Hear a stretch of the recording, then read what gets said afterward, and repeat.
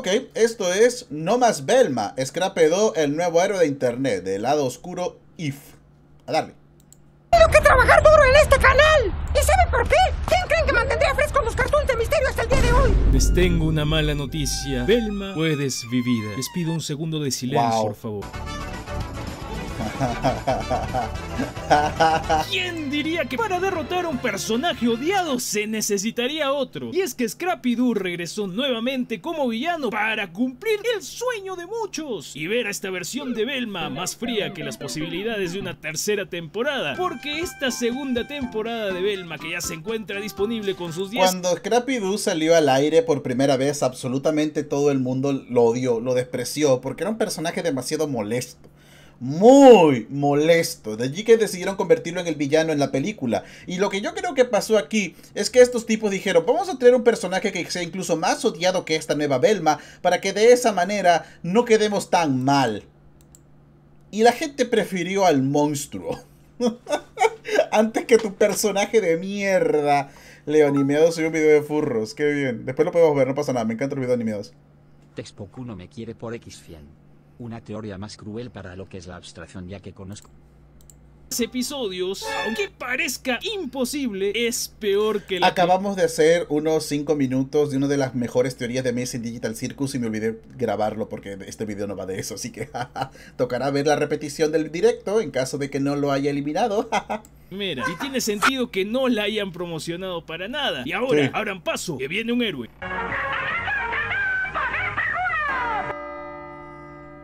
Que parece que el camarógrafo se equivocó de enfocar Me encanta el hecho de que básicamente están diciendo, eh, esto no, no reemplaza, eh, la, la- la serie original todavía está allí, ¿no lo ven?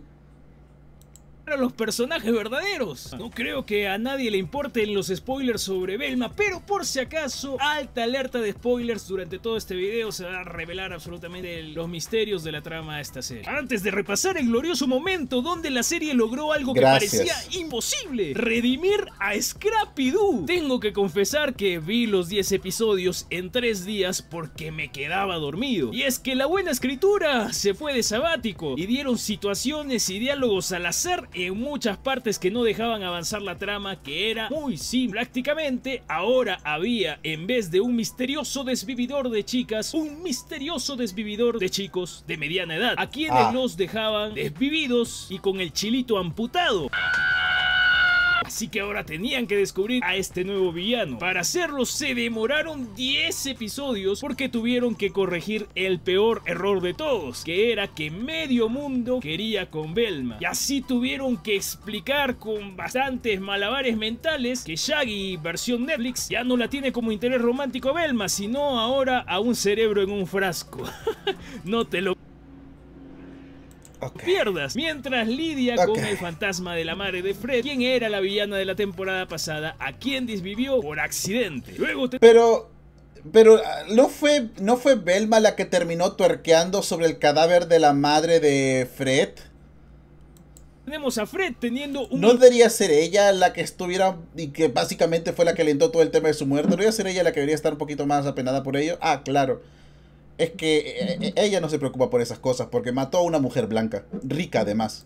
intento de arco de personaje para convertirse de un niño, hijo de mami, a un hombre que resuelve. Y Daphne tratando de buscar su identidad mientras busca mantener un romance con Belle. Porque como Vamos, intentaron hacer esto moderadamente más interesante, fallando épicamente en el proceso.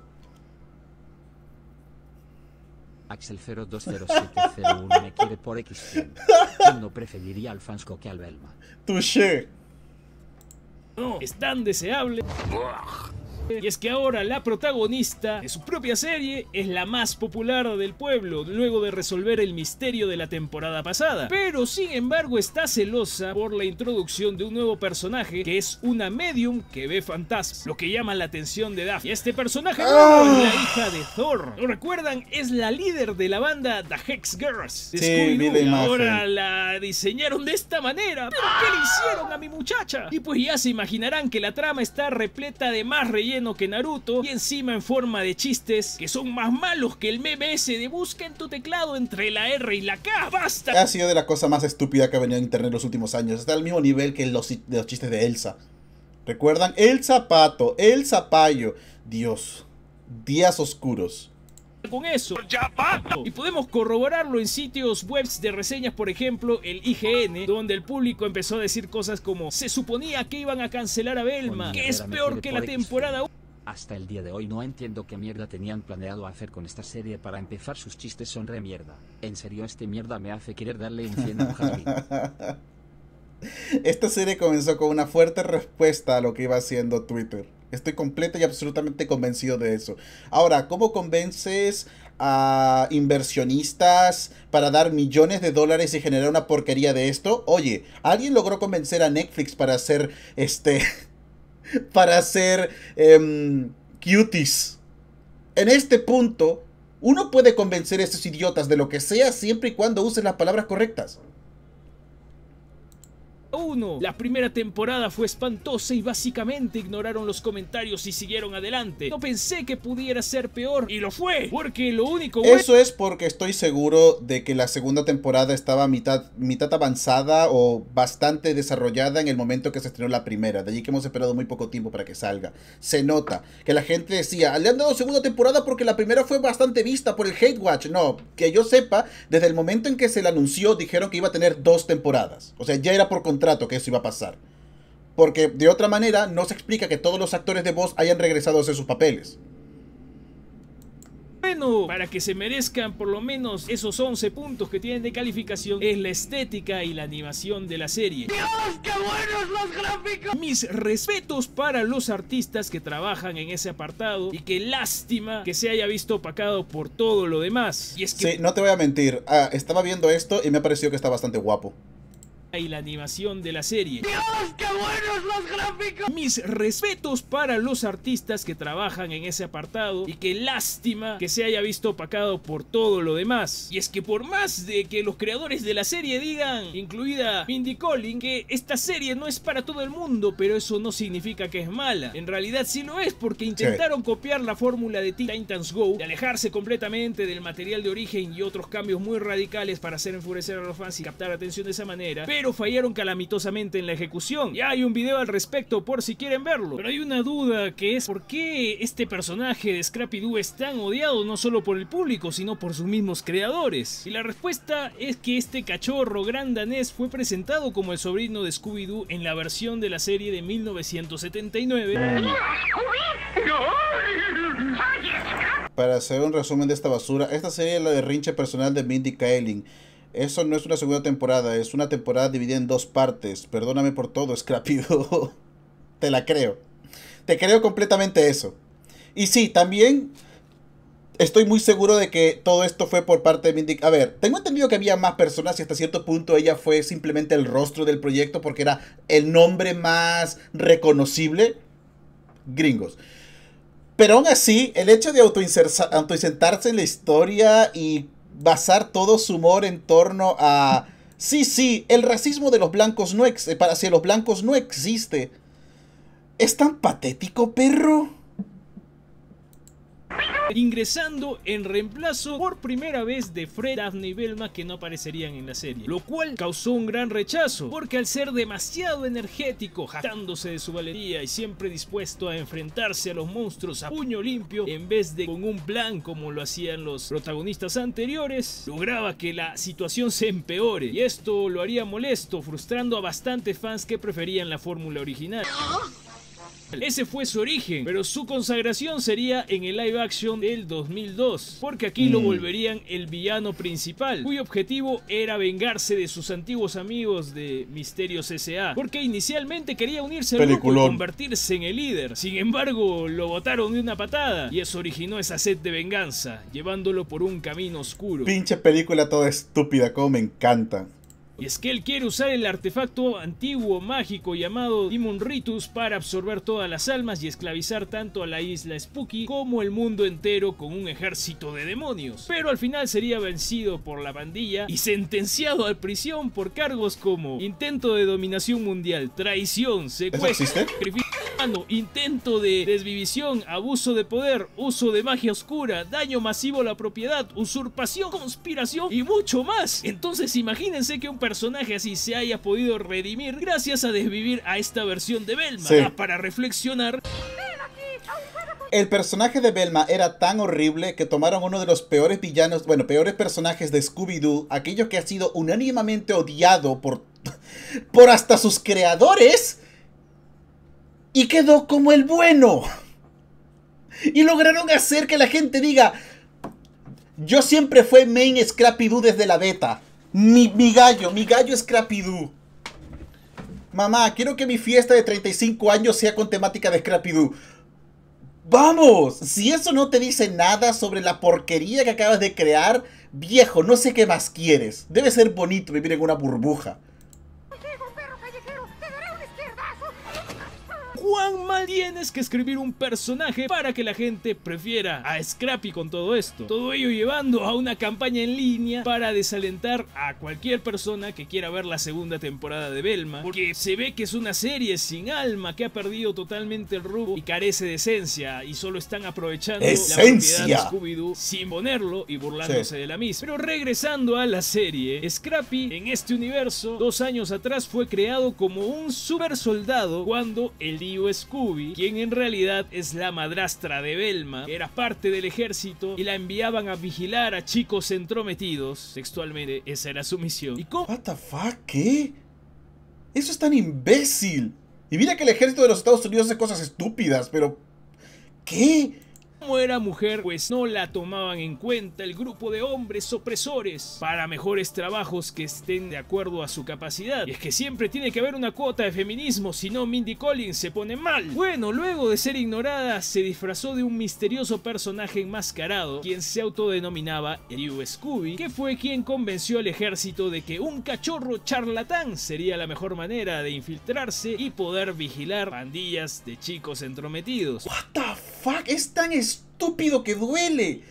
Y así lo crearían usando la investigación de la abuela perdida de Chaggy, Netflix, quien al final revela que tiene una máquina para separar los cerebros de los cuerpos y así hacer que las personas hayan sus propósitos personales y pues es una científica que tiene este tipo de trabajos y gracias a ella pudieron crear Scrappy. Suena bastante absurdo, pues si suena así imaginen verlo. Suena estúpido, innecesariamente enrevesado. ¿Estás seguro que esto no fue escrito por los, por los mangakas de Fate? Dios. Es que la cosa es que conforme iban encontrando a hombres desvividos, descubren que eran los científicos encargados del proyecto de Scrappy. Por lo que este, luego de medir sobre que no sería el responsable de estas desvivisiones, pues al final se quiebra y termina confesando que lo hizo porque lo trataba muy mal en ese laboratorio. Pero la cosa terminaría mal porque buscaría venganza de absolutamente todos los que saben esta verdad y la encontraría en la boda entre el padre de Velma y el tío Scooby, es esta madrastra, y aparece Scrappy para desvivir inmediatamente a los invitados. Pero convenientemente llega el ejército. Claro que sí, en una boda no puede faltar el pastel, la decoración y el ejército. Y los rescatan, pero Velma, como tiene que ser la heroína del self-insert, pues se queda para detener a Scrappy, porque tiene una barra de chocolate en el bolsillo para poder derrotar a este super soldado. Pero mientras todos se van en un helicóptero, en pleno enfrentamiento descubre que Daphne le había cambiado el chocolate por alimentos saludables porque es una novia responsable. Por lo que Scrappy Ay, Dios. Daphne, el tipo de novia que te cuenta cuántas cervezas vas tomando en la fiesta. Mm. Ah. Aprovecha esto y lanza a Velma del balcón con un terrible arañazo y la deja tiesa. Pero justo cuando salta para terminar con los demás del helicóptero, de la nada y al estilo de un show más, le lanzan un misil. Y supongo que esto habría terminado de liquidar a Velma también. Sin embargo, al ser Scrappy o un super soldado, revive como una especie de Spring Trap y va a terminar el trabajo.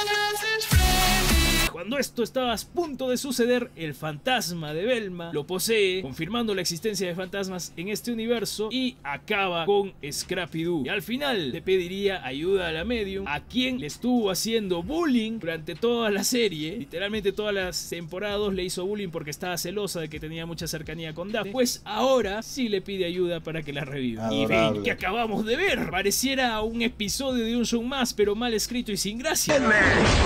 Pero por lo menos nos dieron el momento más satisfactorio del mes, acabando con el peor self-insert que haya visto en la animación. Sí, muy posiblemente esto sea una de las cosas más horribles que, han- que se han hecho por una serie animada como personaje. Es- es- es- es- Cada frase, cada vez que abría la maldita boca, no podías hacer otra cosa más que enojarte. Era horrible. Los chistes son malísimos, la historia es estúpida, los personajes son... ¡Ah! Uf, te ardes mucho, Leo. Sí, me ardo mucho. Me ardo bastante. Y es que por momentos la segunda temporada logra superar en baja calidad a la primera, porque carece de originalidad, coherencia, aleja toda esa esencia de Scooby-Doo aún más, metiendo elementos de ciencia ficción, de surrealismo, de espiritismo y las referencias que hacen a la serie original, Sí, pues porque la idea de Scooby-Doo era que, pues no, no existen esas cosas. Siempre hay alguien detrás de todo el asunto y cada truco tiene una explicación. Y de repente aquí es como que, no, no, sí existen los fantasmas, porque gracias a eso podremos revivir a nuestro protagonista. Ni Herrera me quiere por X100. Es tan mala ¿Qué? que ver a Hasbin como una obra maestra. Sí existían. Si están hablando de los spin-offs como 13 fantasmas y todo el resto, jódanse, no son canon. El concepto original de Scooby-Doo era... Estos monstruos no son reales, hay alguien siempre con un propósito, siempre hay una razón detrás de cada cosa, todo puede ser explicado. Y ahora es en plan de, no, no, podemos meter a cerebros en jarras y convertir a la gente en fantasmas y todo el resto. son burlas y maltratos a la franquicia, intentando imitar nuevamente a Teen Titans Go y a Ricky Morty, distrayendo totalmente de la trama La fuerza Kiss. era tan simple, Las películas, ok, ok, bien, progresivamente sí empezaron a meter cosas de fantasía y sobrenatural, ¿está bien? ¿Contentos? Algo muy Yo estoy hablando del concepto básico de Scooby-Doo. engorroso en su intento de cumplir con los 10 episodios, y el resultado es una serie que parece perdida en su enfoque, sin un sentido claro de dirección. Esta es una serie que fue creada una vez más, lo he repetido un montón de veces, pero es que no puedo dejar de hacerlo. Fue creada exclusivamente para que la autora le pueda responder a todos sus haters en Twitter. Eso es todo. Ese es el gran propósito detrás de la existencia de Belma. Para que la autora pueda sentarse y decirle a toda esa gente que le cae tan mal en Twitter y que arruinan el mundo que son tontos y que, jaja, mira cómo mi personaje, mira, he hecho una caricatura donde yo soy el chat y tú eres un nerd. La serie, donde está más interesada en decir sus ideas, sus opiniones sobre la gente blanca, los hombres, etcétera, etcétera, etcétera, que de hecho contarte algo, lo que sea, cualquier cosa. Y se hace horrible. Y eso es lo que pasa cuando eres una persona que está tan desconectada de la realidad que cree que Twitter es real. que cree que lo que se dice en Twitter es la opinión, de la opinión del mundo el 100% de las veces.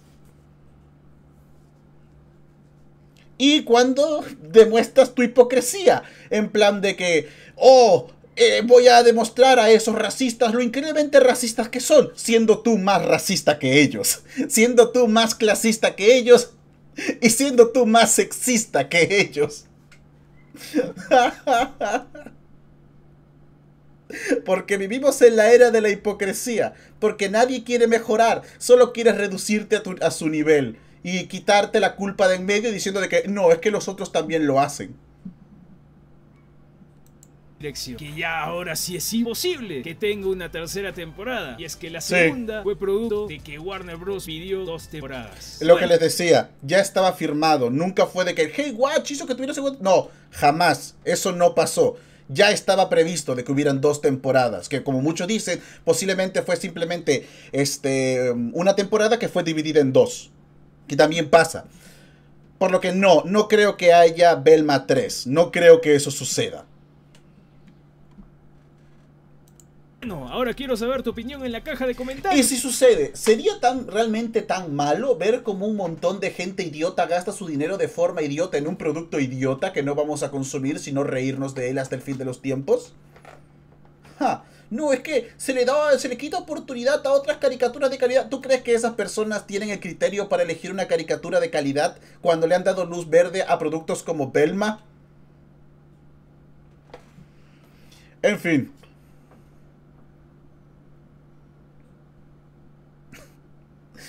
Ah. Miren, si quieren verlo, si tienen curiosidad de verlo, por el amor de Dios, mírenlo pirata. Mírenlo pirata, mírenlo pirata. Deshonroso es verlo legalmente. Es muy deshonroso ver esta serie legalmente. Tienes que verlo pirata. Ahí va. Y maltratos Esta serie no merece tener este nivel de animación. a la franquicia, intentando imitar nuevamente a Teen Titans Go y a Ricky Morty, distrayendo totalmente de la trama que era tan simple, volviéndolo algo muy engorroso en su intento de cumplir con los 10 episodios. Y el resultado es una serie que parece perdida en su enfoque, sin un sentido claro de dirección. Es que de nuevo, su enfoque nunca fue la historia, su enfoque siempre fue Em, vamos a responder a Twitter estos temas que son muy importantes, como el sexismo y el racismo y el machismo, siendo sexistas, racistas y feministas hasta el límite absoluto de nuestras capacidades mentales. Ahora sí es imposible que tenga una tercera... Estoy muy seguro de que la crea de que, bueno, no, no sé si la creadora en sí, pero que nuestra amiga Mindy tiene que estar muy feliz con esto. Estoy muy seguro de eso. Estoy seguro que en su mente, las personas que están odiando abiertamente a Belma, que es la enorme mayoría del mundo civilizado, puedes, puedes, irte, puedes irte a las regiones más abandonadas por la mano de Dios y la gente te va a poder decir dos cosas. El agua moja y Belma es mierda. No, te van a poder decir tres cosas. El agua moja, Jeffrey Epstein no se suicidó y Belma es una serie de mierda. Todo el mundo lo sabe temporada. Y es que la segunda fue producto de que Warner Bros. pidió dos temporadas. Bueno, ahora quiero saber tu opinión en la caja de comentarios. Ahí va, ahí va. Es una pena. Es una pena. Pero en fin. Ahí va. El lado oscuro, si crees que estoy haciendo mal uso de tu material, me escribes y cambio y quito el video, eh, sin pero ni nada, al instante. Ahí va. Vaya porquería, que suerte que se acabó. Pero ay, y los horrores que están por venir.